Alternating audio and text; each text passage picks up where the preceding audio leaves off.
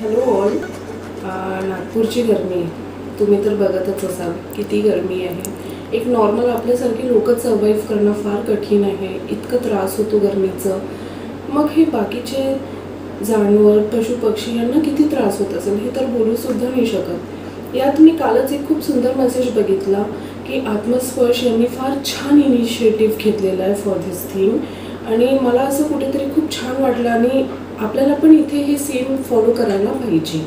आणि let's guys आपण एकत्र होऊन आपण या गोष्टीला सिरियसली सपोर्ट करायला पाहिजे.